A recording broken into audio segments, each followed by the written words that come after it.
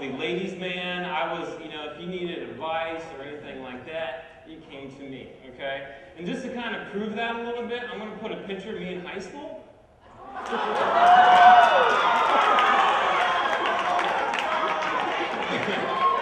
and uh, now you now you guys know I'm completely lying to you. Um, I was a dork.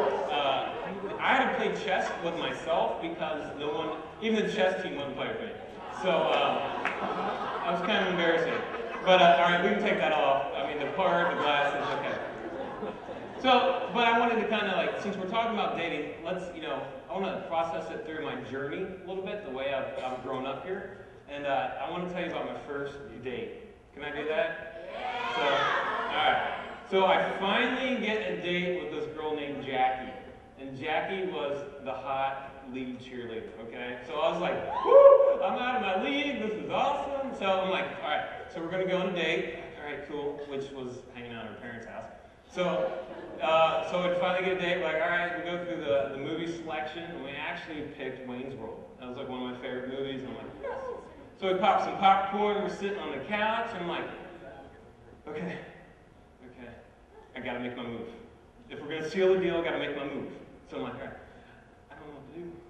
I don't know, I don't know what to do. So I'm like, okay, think through it, you know, think through it. Oh, well, by default, we'll go for the yawn extension here, all right?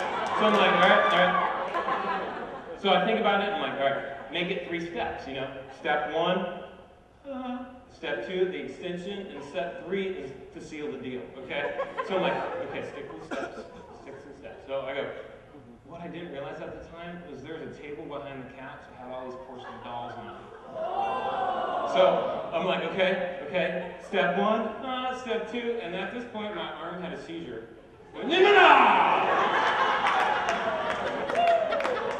My immediate reaction was to freak out, so I retract my hand, hitting the popcorn, sending it everywhere. I'm like, uh, needless to say, I didn't get a second date.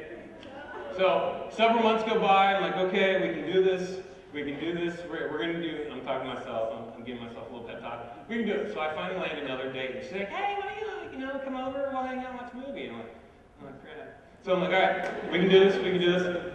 So when I go over, we're watching a movie, I'm like, okay, lessons learned, don't overextend, okay? Work your way through the steps. Work your way through the steps. So I'm like, okay, sweaty palms. And go. Wham! I totally clocked her in the face. So need, needless to say, no date number two. So isn't dating painful? You're like, oh my gosh, what am I doing? Like, I'm having so much trouble. And it's like, we all want to get to a point in a healthy relationship. And that's one of the things that um, I always ask growing up, I'm like, is there something that God tells us about how to date? You know, is there like, oh, manual? But there, there's not a whole lot that, you know, that stands out there. But I did find a, a verse in Matthew that I thought was a great principle we can kind of pull into our own lives. So if you look, be up here on the, uh, the screens in a moment. Matthew 7, all right, it says, Therefore, anyone who hears these words of mine and puts them into practice is like a wise man who builds his house on the rock. The rain came down, this, whoa. The rain came down, the streams rose, and the winds blew and beat against that house. Yet it did not fall because its foundation was on the rock. Okay, now. Uh, but everyone who hears these words of mine and does not put uh, does not put them into practice is like a foolish man who built his house on the sand. The rain came and blew, the streams rose, and the winds blew and beat against that house, and it fell with a great crash. When I first read this, I thought about a story I heard when I grew up. The three little pigs. So piggy number one built his house out of straw. Piggy number two built his house out of Piggy number three made his house out of brick. Yeah we rock, right? Ooh. Um, um, but it's one of the things. It's like you know, the smart little piggy built his, built his house on the rock because he saw the errors of the other two piggy brothers, right? That's why I was like, you know what? That you know that is supposed to correspond with our uh, our spirituality, but can't this work in a lot of different areas of our life? And I was like, this could totally work in dating. So I was like, I don't know about you, I was kind of like a Lego freak growing up, even up to that picture. But we'll, we'll, we'll be honest. So, put that down there. No one's going to use that on Facebook. But, um, wow. I'm still awkward. That's awesome. So I played with Legos, record sets, and they're like little Lincoln logs, right? So I was like, you know what?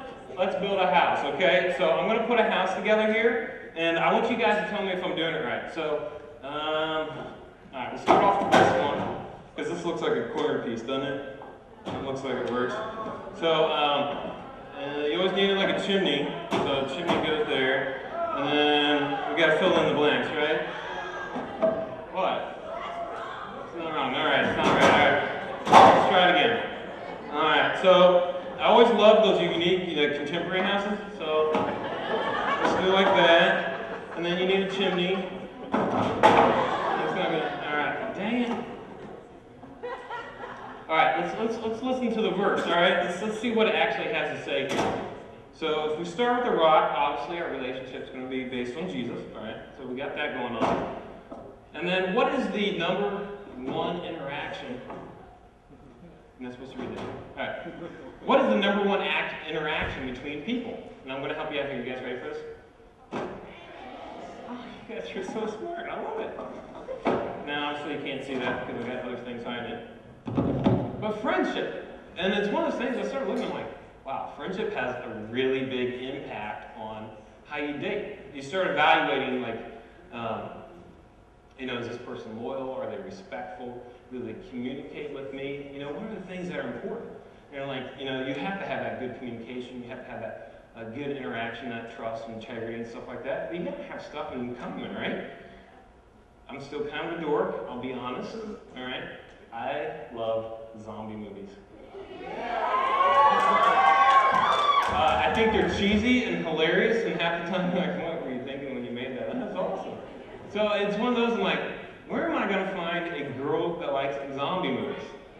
So uh, I went, I searched long and far, and I've actually found someone that they, they let they actually interact with my life, and they're like, dude, let's, well, you know, you know, we're not watching Bridges in Madison County or you know, uh, Mean Girls or whatever. We're actually watching zombie movies on the weekend. So I'm like, yes! I actually found out one of her big uh, interests in movies is vampire movies. So in a weird sci-fi way, we kind of have a connection. So, but here's something else that I realized too with friendships is that um, we'll kind of go back. I was actually engaged at one point to somebody else, and uh, I really believed in that relationship. I was really excited about it. And believe it or not, all right, just some picture this, mental picture. Some dock shoes, right? You know, some grandpa dock shoes that slip on. Um, some khaki pants, and a nice collared, you know, polo shirt. I wore that every day. Does that look like that? What like who I am? Is that what's? Uh, I don't know what you call this. I don't know if this is like urban hick or I'm too cheap to buy pants or. But this is me. You know, this is who I am, and uh, the person I'm dating now actually lets me be who I want to be. And it's one of those. It's like uh, part of a friendship and part of a relationship is all about interacting with somebody so you become a better person. It's not so you become somebody else. And during that time when I was engaged to that person, I became somebody else, somebody that they wanted me to, because I wanted to be in that friendship or that relationship so much. So that goes to something else, the second stage of our MTV pimping crib here.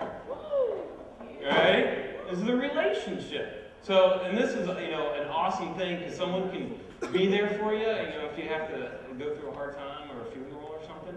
But also, it's cool because they'll like call you up, like, hey, let's go play frisbee golf because I want to play hooky from work. Yes. So, but it's one of those things. It's like I realize this, and, you know, growing up is uh, there's a lot of maturity that's required in a relationship. I'm like, oh my gosh, you know, I actually have to start thinking about somebody other than myself. Um, so I was like, man, what does that look like? You know, my whole time I was looking at conflict resolution as if I win, everything's happy.